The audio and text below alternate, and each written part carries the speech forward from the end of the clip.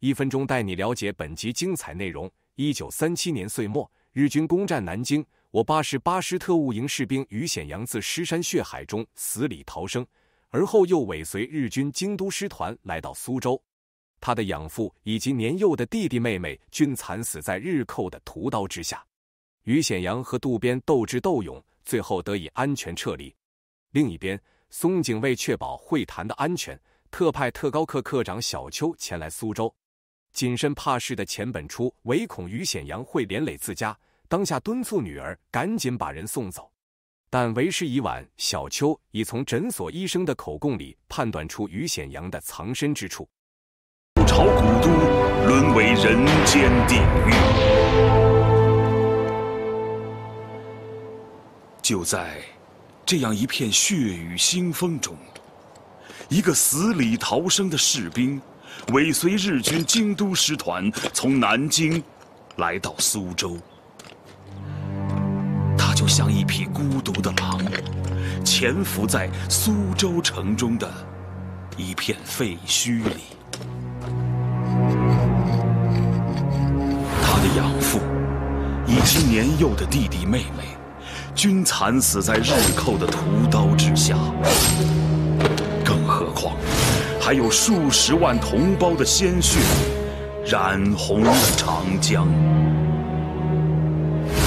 所以，他的心里装满了仇恨，他要用一颗颗子弹让日寇血债血偿。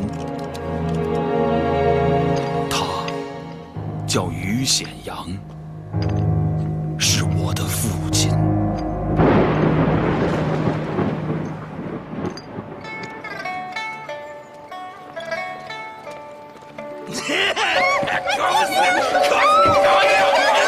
求你们放过我孙女，她是个孩子。你们太丢人了！我干，心脑子不离干。离开了。你们这些畜生！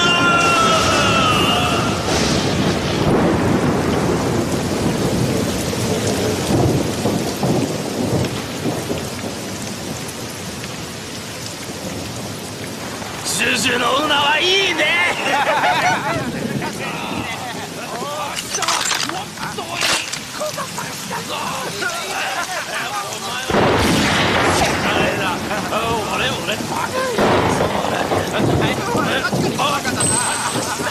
前の番だ。お前それは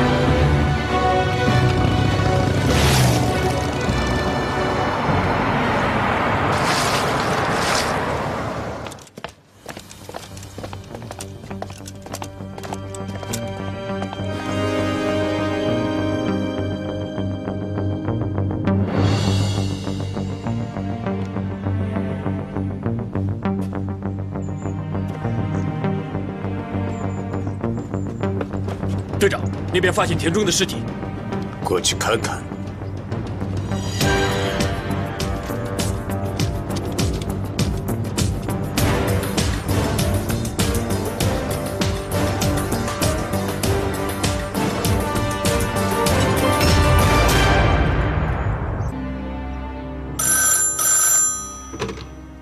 是哪位？我是小邱，科长。渡边队长。苏州的情况还好吗？出现了一个凶手，一直在暗杀我们的士兵。有线索吗？我有一点点发现。不幸玉碎的帝国军官，被凶手摆成谢罪的姿势，实在是令人难以理解。有什么难以理解的？这说明凶手是来复仇的。你想办法设个圈套，把凶手逼出来，干掉他。是。多谢小邱科长的指点。你们还不晓得吗？不光我们苏州，就连南京已经被皇军占领了。那就是说，大家只有老老实实的给皇军当顺民，才会有好日子过。但是，居然有人胆大包天，竟然敢一而再、再而三的伤害皇军士兵，这简直是罪无可赦！皇军有令，你们要一个个的上来给皇军的灵位磕头。还有，立刻交代凶手在哪里。凡是主动交代的，皇军大大有赏。哎，都听清楚啊！晓得的快讲。長官閣下、犯人はこれでしょうか？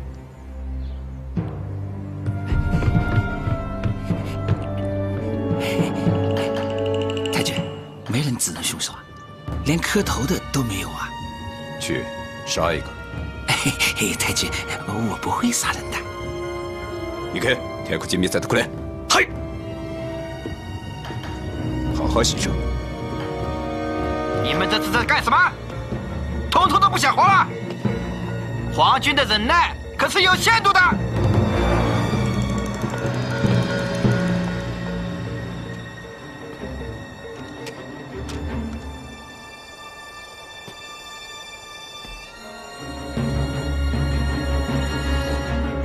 上来。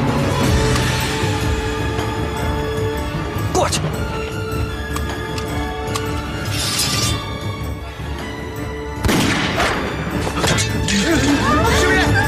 果然来了，是李之美。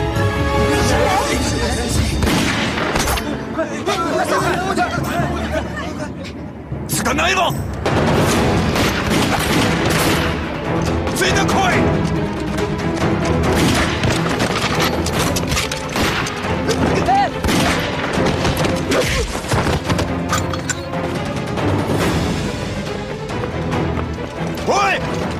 海哥！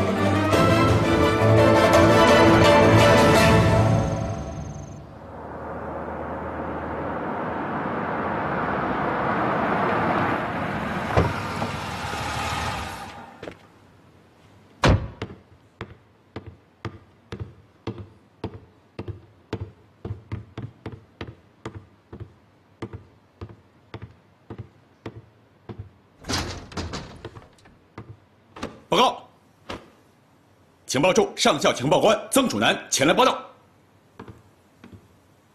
我们又截获了日军的电报，松井的司令部即将前往苏州。那就是说，他们的谈判地点已经定下来了。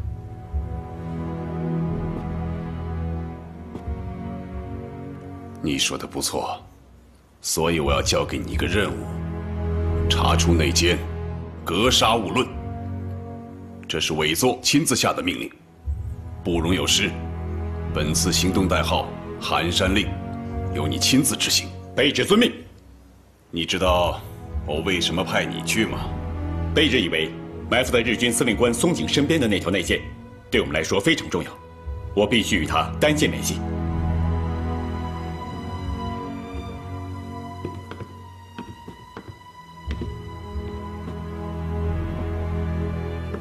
这只是其一，其二，此事干系重大，派别人去，我不放心。卑职一定不辱使命。至于此次任务的人手方面，我会以战区的名义，给新编的第四军发个电报，让他们全力协助你。可他们是共产党的部队，大敌当前，民族利益为重。这个时候。我们都应该枪口一致对外。是，卑职一定全力以赴，与他们精诚合作。你给我记住了，本次行动属于绝密，因为我们怀疑这个汉奸是国民政府中的一个重要人物，所以我再重复一遍：务必查出，格杀勿论。是。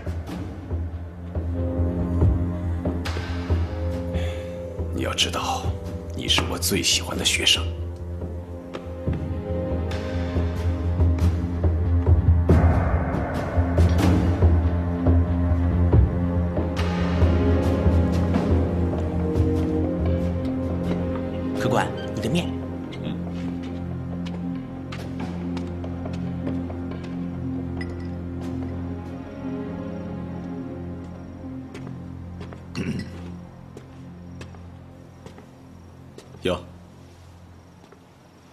这不是新上任的局长大人吗？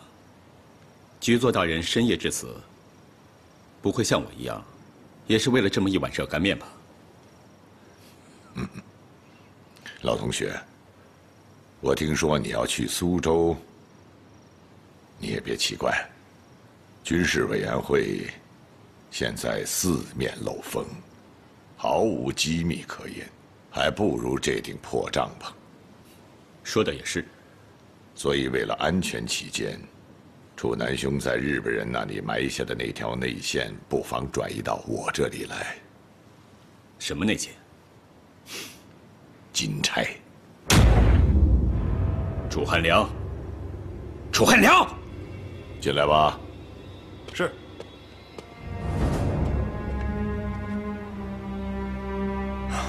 楚南兄，家法第一条。泄密如同叛国，罪不可赦。楚南兄稍安勿躁，可能你还不知道，韩良已经是我的人了。楚南兄，情报处早已名存实亡，中统的上海站、南京站也已经瘫痪，就连李士群也逃了回来。俗话说：“识时务者。”方为俊杰呀！中统也好，军统也罢，都是在为党国效力。楚南兄何必固执门户之见呢？我没有门户之见。汉卿兄应该清楚，这条内线对我来说至关重要。我必须保证它万无一失。总之，过了今晚以后，我不想从任何人嘴里再听到“金钗”这两个字。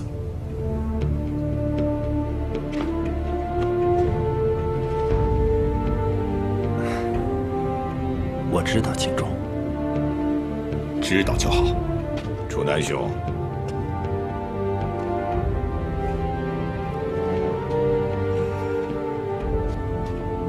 兄弟这些年在江南一带还有些办法，如果用得上，尽管开口。多谢。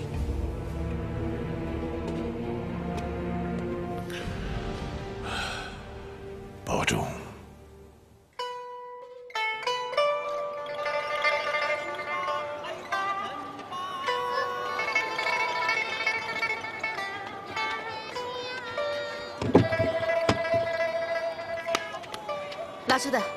来喝口水。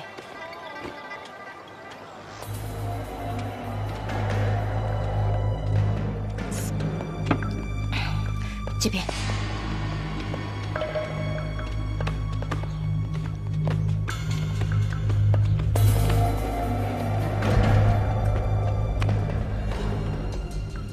三嫂，码头的情况怎么样？码头上全是日本鬼子，风声？掌柜的，那怎么办？见机行事，不行就打，就是抢也要把人抢出来。明白。不可以，日本鬼子那么多，我们人又少，会吃亏的。三嫂，这是上面来的钦差大臣，大老板有指示，东家也下了死命令，我们不能丢人呐。三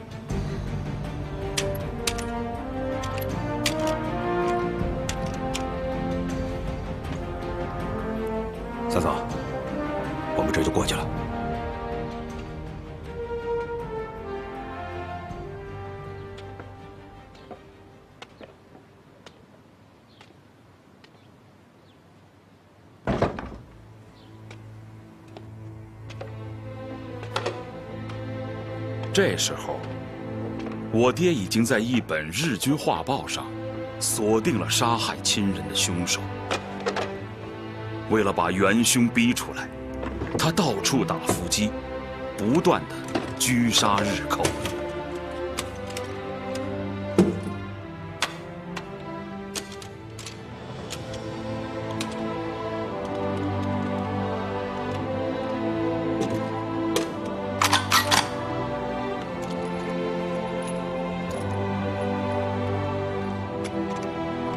不过，他万万没有想到的是，就在苏州百姓把他称作大侠一枝梅的同时，他的命运已经和一道神秘的寒山令绑在了一起。王八子，王八子。那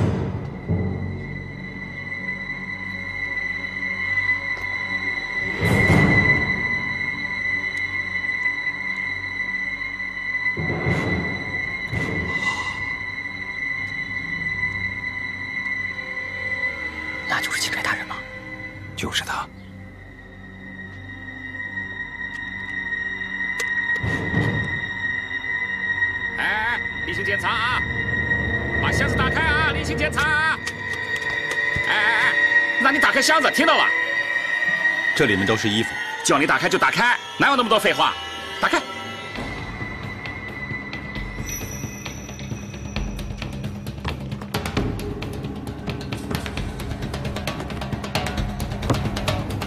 啊！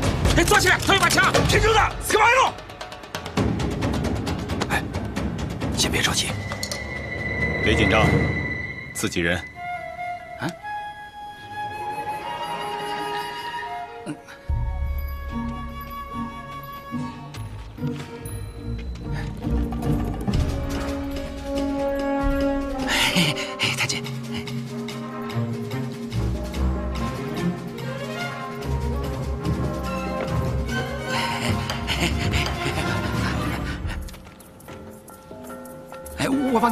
不用。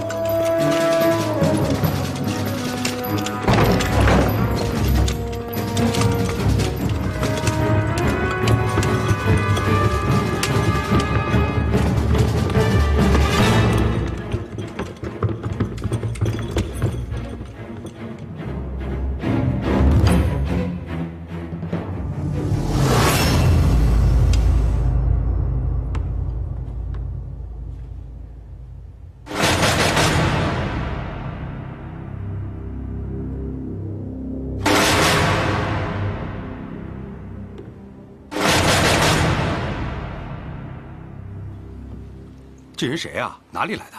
不晓得，只听说他接二连三的杀了好多鬼子，每杀一个就留下一张图画片的。哼，这不成了平话里的大侠了吗？现在苏州城里啊都传开了，称他叫一枝梅。一枝梅？嗯。这小子枪法倒是挺准，只可惜一枪把我们的钦差大臣给打没了。哎，掌柜的，你说他这一枪会不会是诚心的呀？怎么讲？为了保护钦差大臣啊？不可能，这完全是巧合。他怎么知道武汉来人了？我看啊，未必。你想啊，这码头上鬼子的阵势，可能是走漏了风声了吧？我倒觉得鬼子是冲一枝梅去的。再说刚才看码头的情形，小鬼子还不知情。要真是走漏了风声，不就直接抓人了吗？那倒也是啊。不管怎么样。我们都得赶紧把人找回来。一是上级给我们下了死命令，二是这苏州城里乱糟糟的，太危险了。掌柜的，可这一枝梅这样一闹腾，我们上哪里找人去？三嫂，我去大先生那里。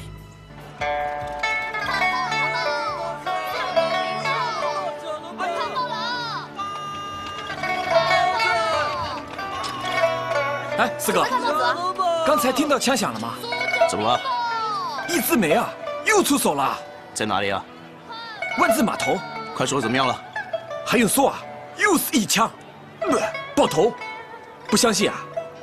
我实话告诉你，其实啊，当时我就在旁边，看得一清二楚。枪一响，小鬼子屁都没来及放，一枪就灌倒了。马上啊，就死翘翘了。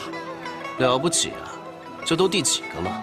我想想啊，专诸像一个，为钱接一个，哟，铜钱搬一个，这不是阿元的老娘舅吗？四哥，稀客稀客。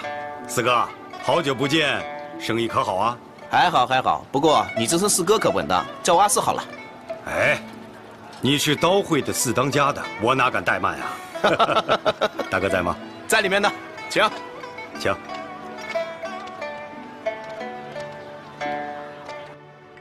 海水木，风雪交加，那一枝梅孤单单一点寒寒，身负血海深仇，却是穷途末路，满腔悲凉。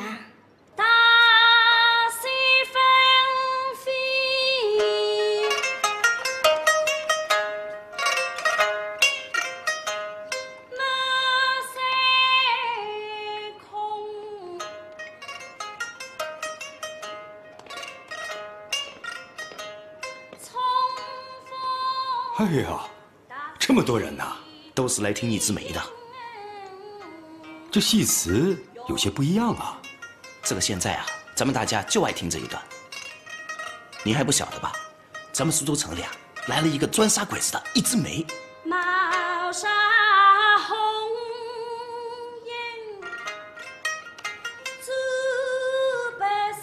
请，来。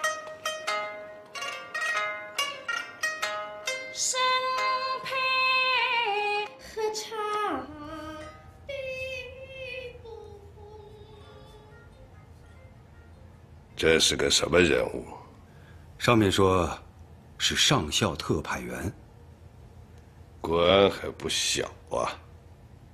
大哥，我这回可是丢人现眼了。人要是在我的手里边没了，我怎么跟上级领导交代呀？嗯，你先不要担心。阿四啊，你把兄弟们都撒出去，啊，这酒楼啊、旅店啊。看看有没有陌生面孔，千方百计要把他找出来。嗯，晓得了，谢谢大哥。啊，阿四，你费心了。哎，不值一提，小字体。你放心，大家都是自己人。别说我们都会，这苏州城里的老百姓都盼着你们打回来呢。大哥，我们新四军已经向皖南集结了，上级领导指示我们要尽快的发展抗日根据地。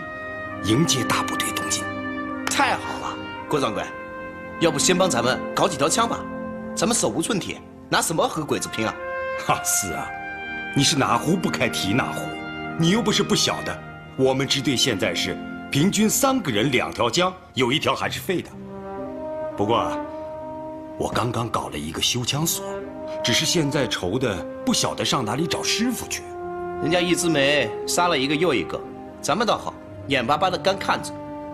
说到这一枝梅啊，我还真是好奇，这小子到底是什么来路啊？大哥，咱们刀会里的人也不知道。这个人啊，独来独往，行踪诡秘。嗯，神龙见首不见尾。哈，哈哈，还真是一枝梅啊！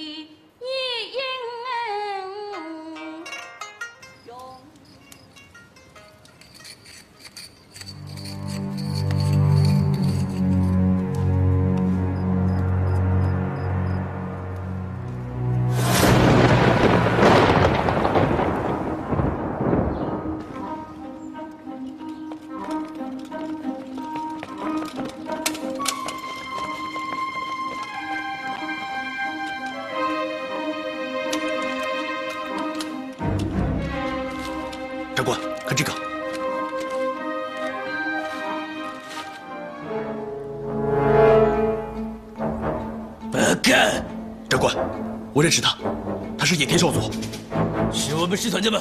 是的，他的部队比我们晚到，驻防在铁岭关，离这里不远。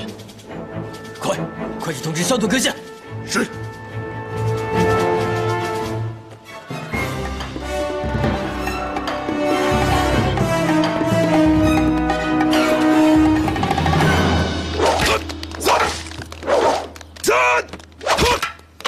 少主的刀法真是厉害。少佐大人学过柳生派的刀法，怪不得。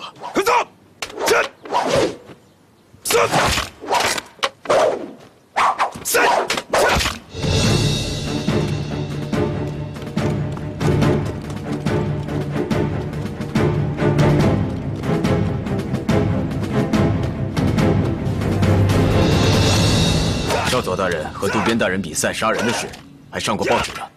真的。上面说，少佐杀死一百零五人，渡边大人杀死一百零六人，那可真是了不起啊！嗯，在南京郊外，我和渡边君又杀了五个中国人，可惜啊，我的刀刃卷了，比渡边君少杀一个，要不然谁胜谁负还很难说。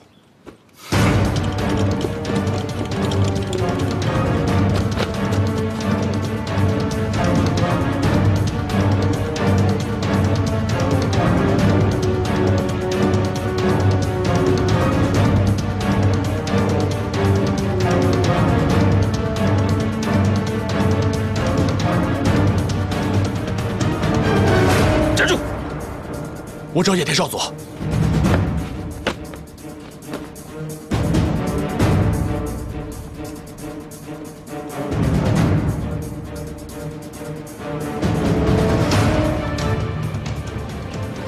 野田少佐，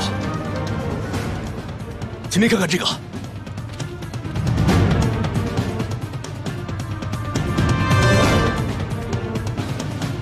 白给，哪里来的？启禀少佐。士兵不幸玉碎，这是在他身上发现的。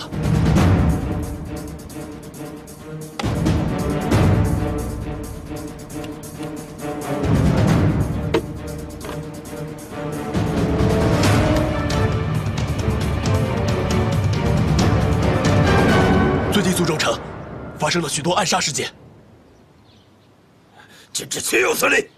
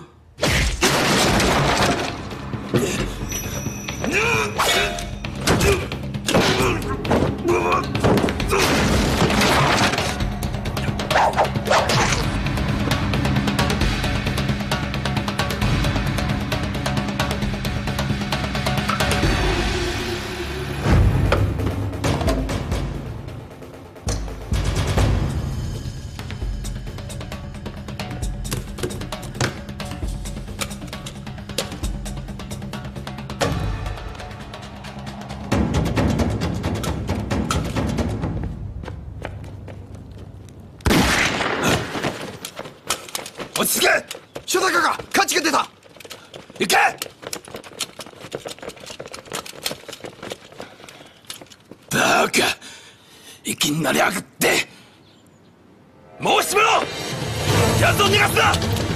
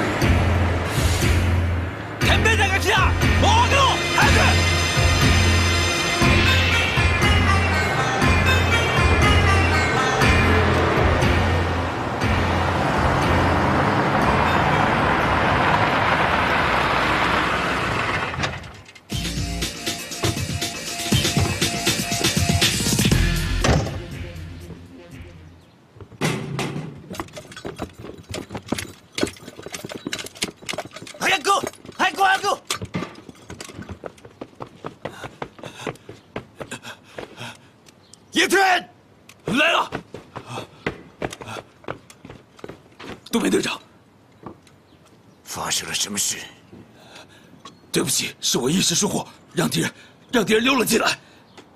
敌人来了多少？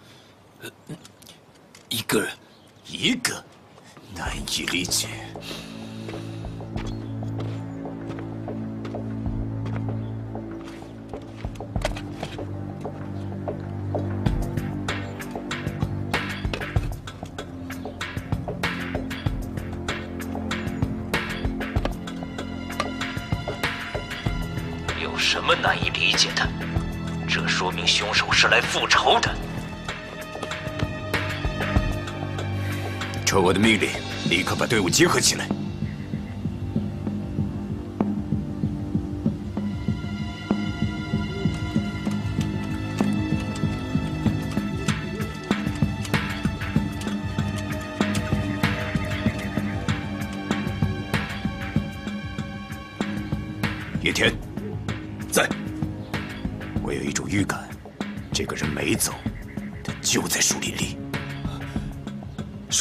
上带人搜查。你兵分两路，左右包抄，我单独去会他。嗨，お前ら、俺に続け。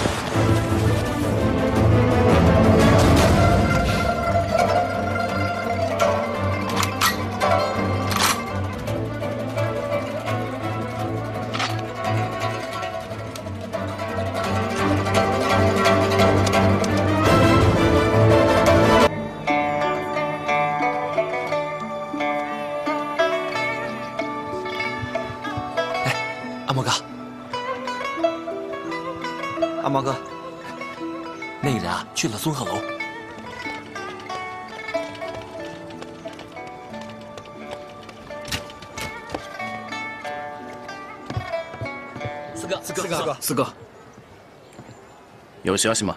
刚收到风，人在松鹤楼。去，把人给我盯死了。好，我这就去。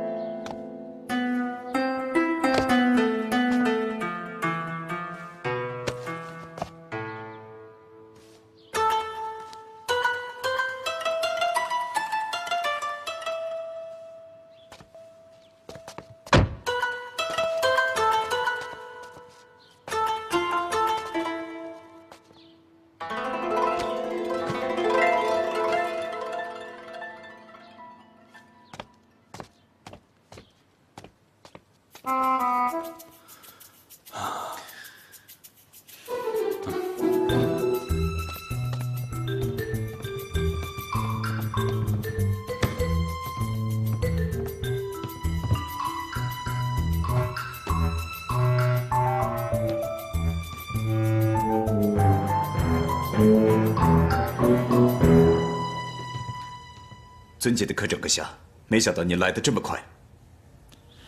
是啊，过两天松井司令官也会到苏州来，我是来打前站的。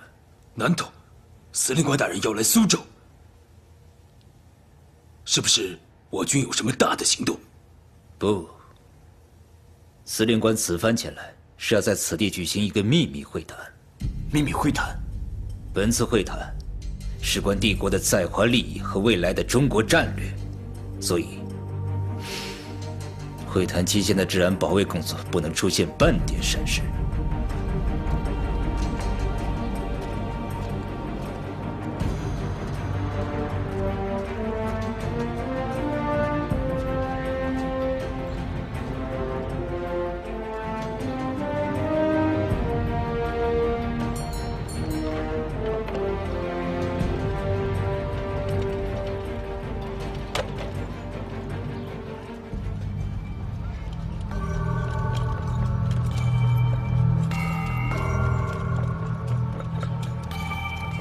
渡边君，在。你说的那个凶手抓到了吗？这个什么？科长大人，那个凶手不但没有抓到，而且今天还炸了野田的兵站。经过调查，凶手每次出现都会留下这个。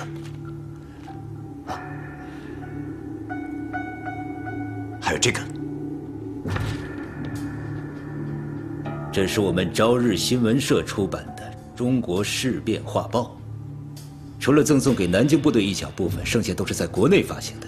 可是，为什么会出现在苏州？这么简单的问题都回答不了？凶手在南京打过仗，这份画报他是在我们士兵身上得到的。可是，他为什么单单就撕下了这一页？理由只有一个，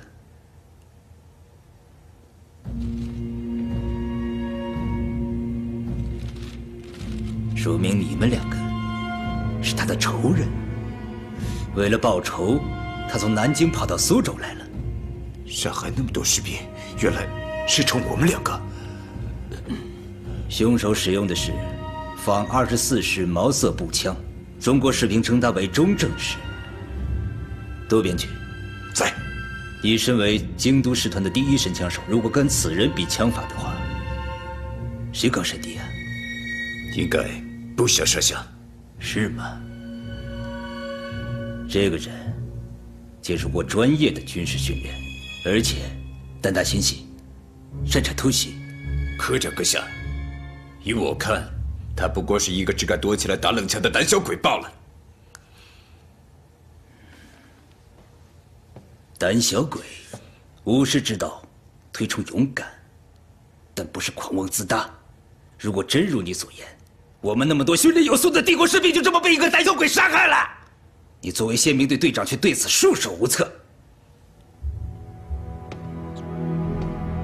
请问阁下，你是失职啊，还是无能？实在对不起，杜北军，你不是说要给课长大人接风吗？时候不早了。我看，我们还是赶紧动身吧。是的，科长阁下，我已经准备好了酒席，请您赏光。酒席？是。不会又是不伦不类的料理吧？不，不是料理，不是料理。我请您品尝本地的苏帮菜，在这里特别有名的松鹤楼。松鹤楼？是的。要喜。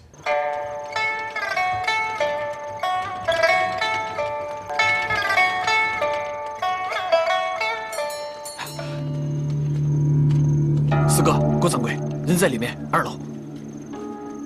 就一个人吗？对，就一个人。阿四啊，你在外面听着，万一有什么情况，及时通知我。嗯，放心。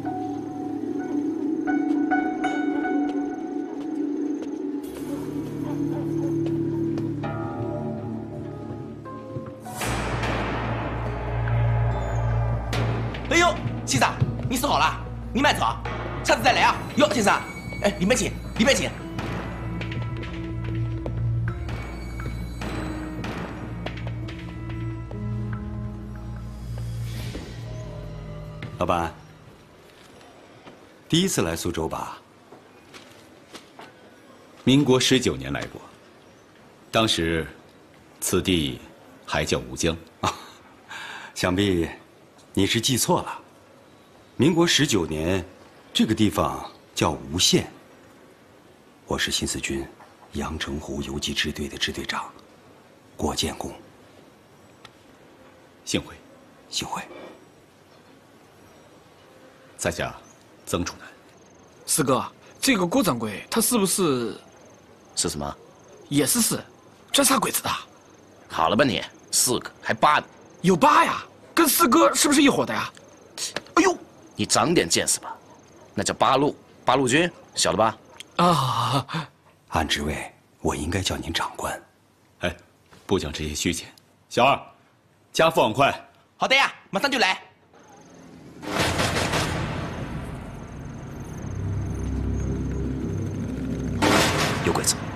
在这里盯着。好的。昨天在码头没接到你，可把我急坏了。我也很着急，但没想到郭掌柜神通广大，这么快就把我找到了。多亏了刀会的朋友帮忙。苏州刀会，老大是万和轩，人称大先生，对吧？没错。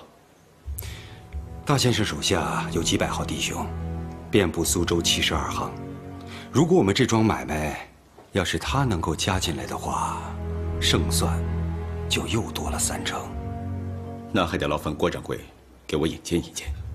不急不急，我先把你安顿下来，改日我再介绍你们认识。郭掌柜，日本人来了，要不结账走人吧？这个时候走更惹眼。搬个凳子坐下。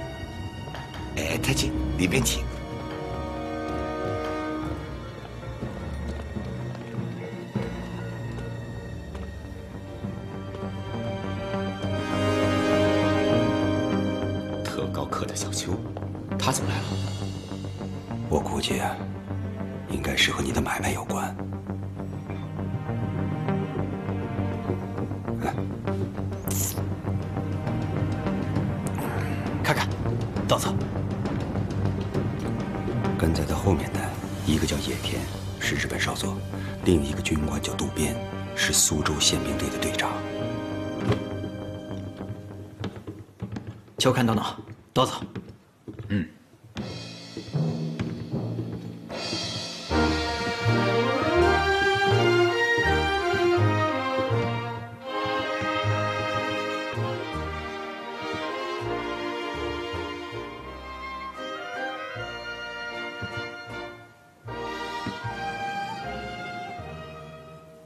渡边君在。你知道这道菜的名字叫什么吗？松鼠桂鱼。哟西，看来你们经常光顾此地啊。中国的乾隆皇帝也曾经到过此处，你们知道吗？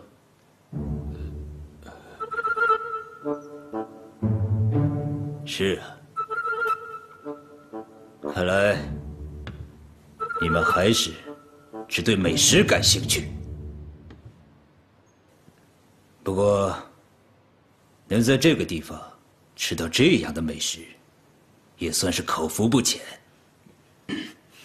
说起口福，我就想起京都，那才是家乡的味道啊！什么？怀念家乡的味道。是的，我看你是怀念京都的女人吧。不过渡边君，说到女人，我倒是有一个好消息要告诉你。走。是。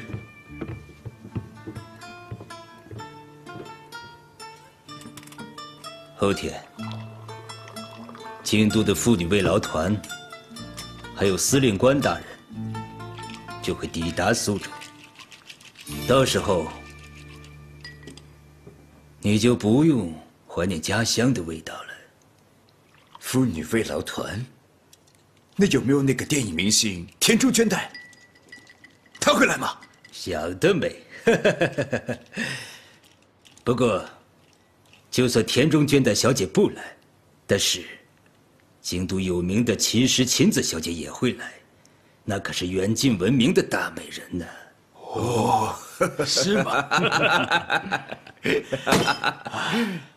但是，既然司令官大人和慰劳团的女士们到来，那是不是应该组织本地的名流前去搞一个迎接仪式？是，那是当然。队长大人，依小恩之见，此事可以交代给商会会长吴炳荣去办。此人在本地颇有名望，他的商会会员也大都是良民，应该不会有什么差池。事不宜迟，你立刻就去。是。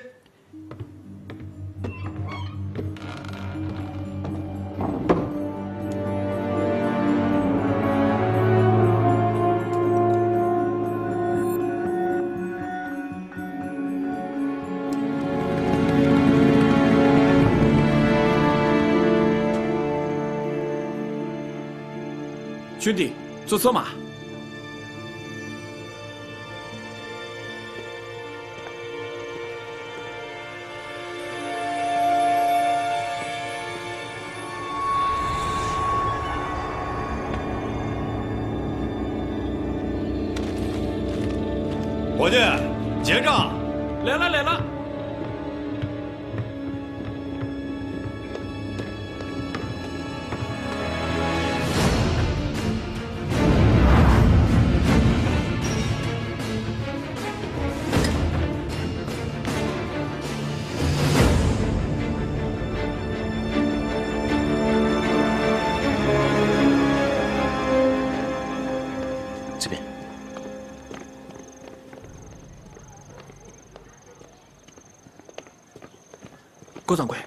小鬼子进去做什么？阿四，你领曾先生先走，到前门巷口等我。好。那你呢？我留下来看看热闹。刚才和我们照面的那位，我看他是来者不善，注意安全。放心吧。曾先生，走吧。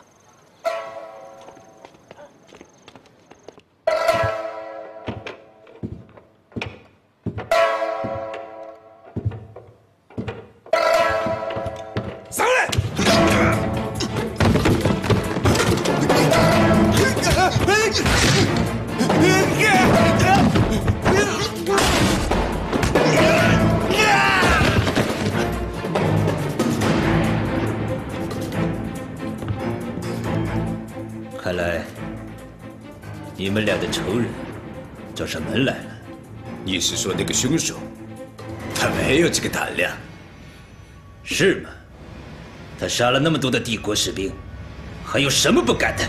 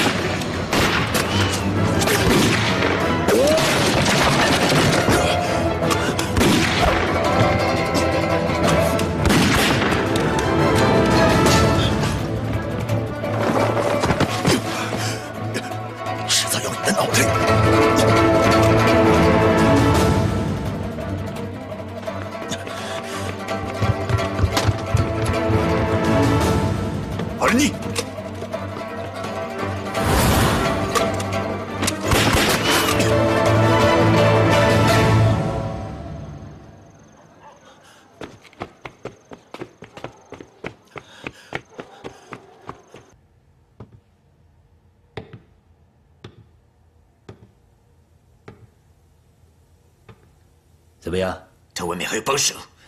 哟西，不是一个人。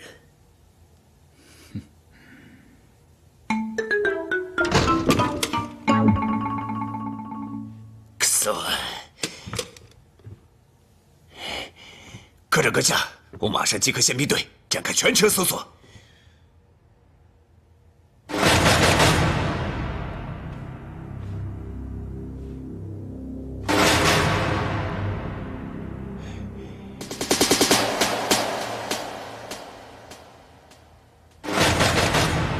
苏州城的所有医生抓起来。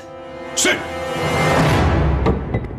我觉得刚才那位可能就是那个易之梅，她这么一闹腾啊，鬼子绝对不会善罢甘休的。我看，你那个旅馆是住不成了。那你给我找个地方。我姐家就在这附近，要不你先去那儿住一个晚上。等明天，咱们见到大先生以后，再从长计议。行，我呢就听你的安排。好，走吧。哎，哎！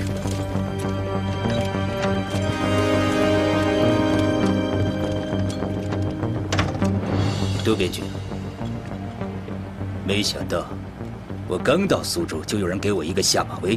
请科长阁下放心，只要关上城门，苏州就是一个铁桶，凶手一定插翅难逃。杜边军，自打开战以来，我还没有见过这么厉害的中国士兵，所以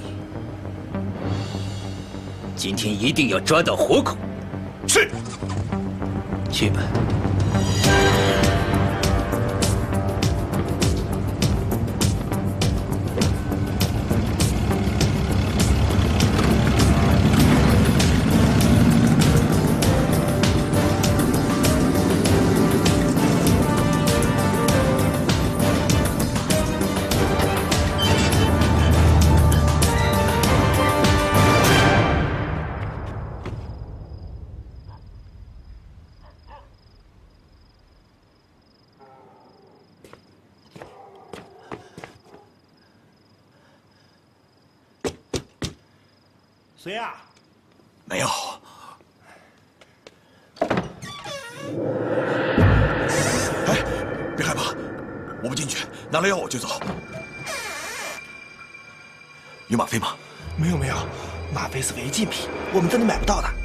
哪里能买到？你可以去仓门外看看，鸭蛋桥附近有东洋次郎，他们专门倒卖这个。哦，东洋次郎就是日本浪人，他们都是从满洲那边过来的。你伤得可不轻啊，赶快去吧。往西一直走就是仓门。谢了。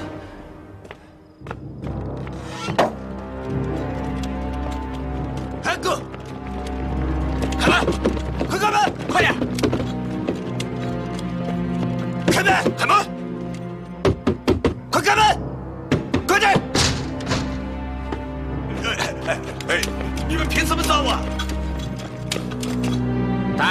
都听好啊！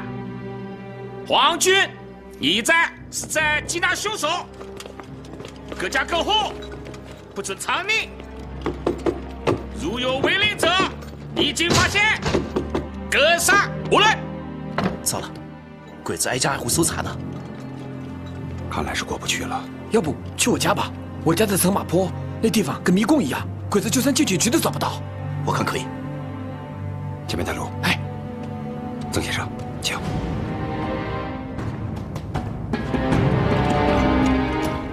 开门！开门！开门！哎哎哎哎！你们这是……快走！我没办法呀！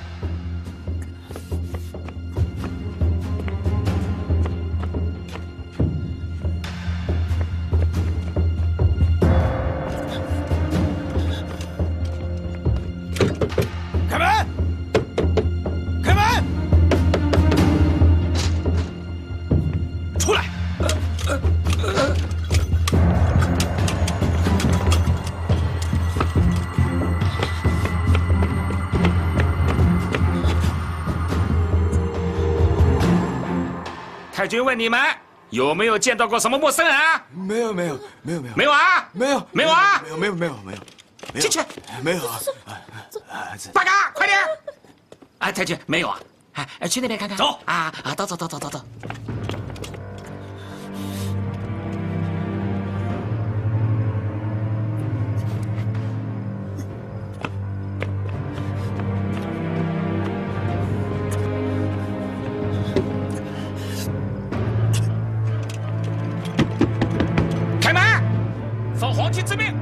济南修草。开门！哎，让开，让开，让开！哎，太君，都走。干什么这是啊？哎，让开，让开，让开，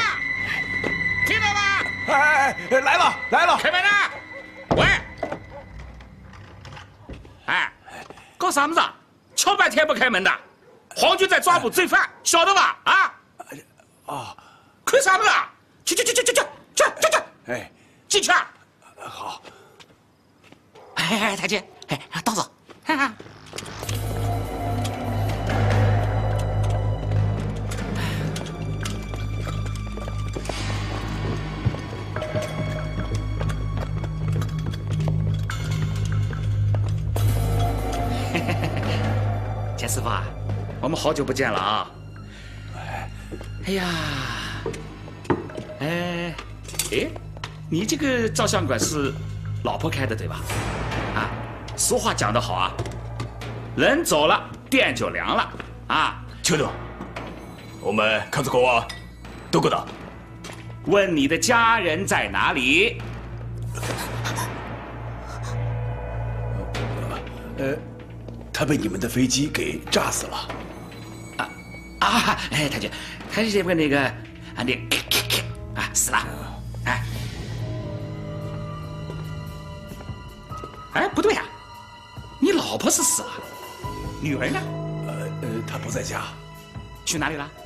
呃她住书场啊在大先生那里。不信你去问大先生啊。哎呀你这讲的哪里话嘛啊？都是自己人嘛啊。哎，太君啊，哎，这家人我认识的啊，哎，都是良民，大大的良民，哎哎，是好人呢。啊，好国人，一叫那西。司机，哎，大嫂，大嫂，大嫂。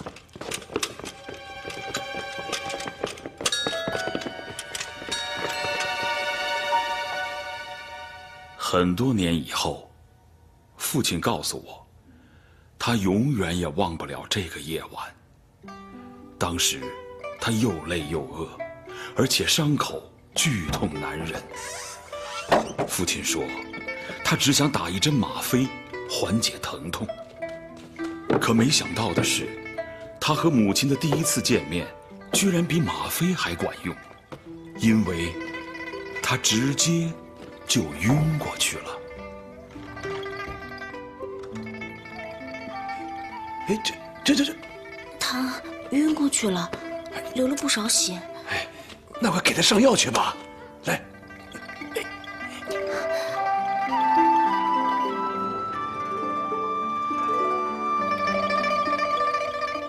爹，幸亏你在家里备了金疮药。哎这兵荒马乱的，免不了有皮外伤，正好他能用上。哎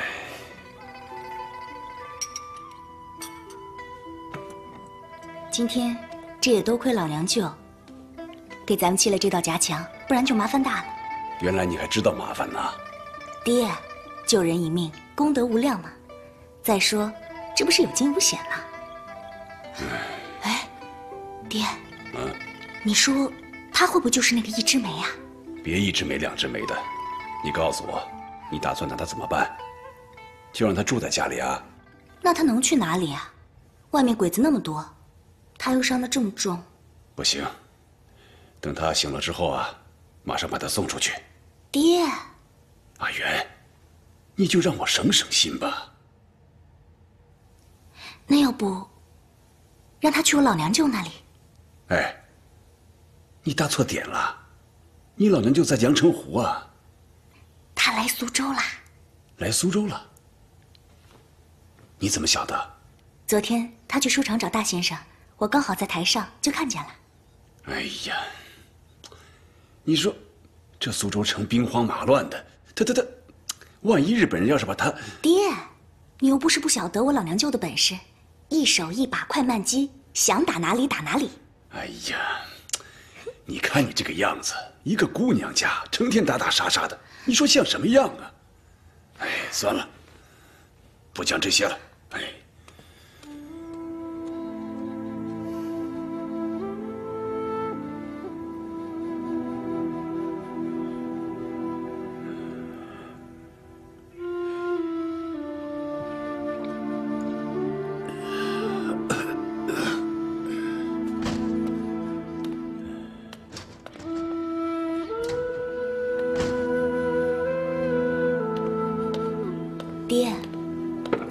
喝酒了？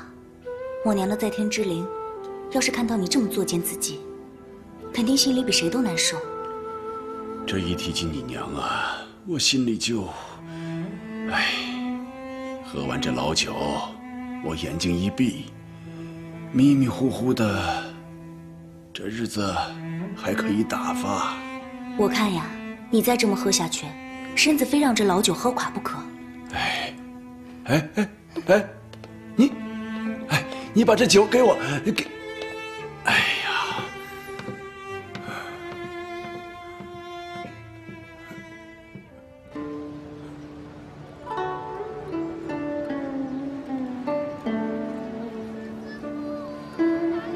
骆驼蛋，哟，阿元啊多，下点馄饨。好的呀。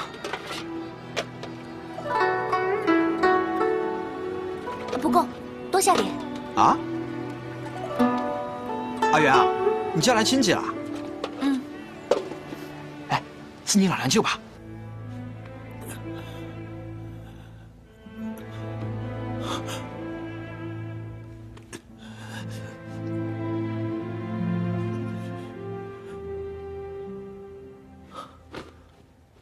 你告诉老娘舅啊，这几天千万要多加小心。小日本跟吃错药一样，满苏州都闹腾。昨晚还去我家抄过。好了好了，你快点吧，我还要去书场呢。嗨，馄饨是生的，要现煮的。你这盒子太小了，等下一整锅端过去好了。锅子再给我还回来啊！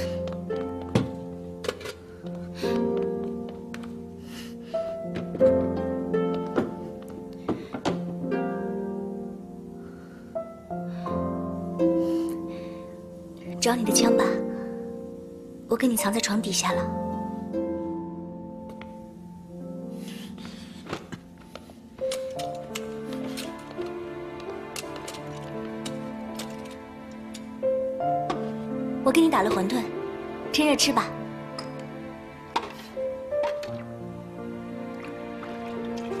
姑娘，谢谢你救了我，但是我不能待在这里，会连累你们的。放心吧，鬼子昨晚刚搜过这一片，一时半刻不会来的。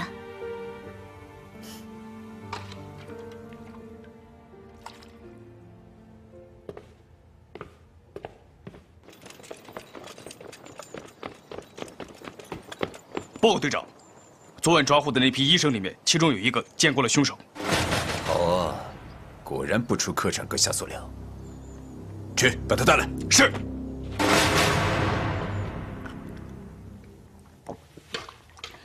我再给你盛一碗。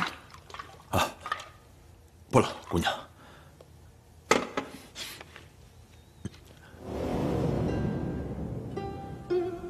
我问你件事情，啊，你说。外面都在传，说有个神枪手，一口气能干掉几十个鬼子，是真的吗？没听说。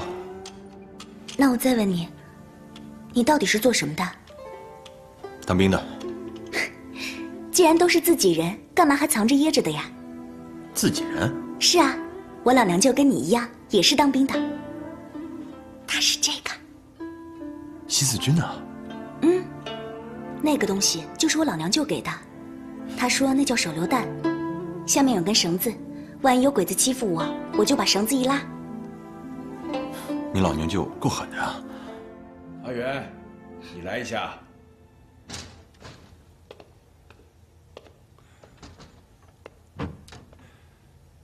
哎，醒了。嗯。那你快去找老娘舅，叫人把他接走。晓得了。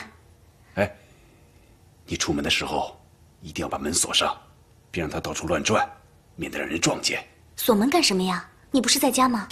我我我要去三爷那里取东西，寒山寺那边还等着我干活呢。晓得了。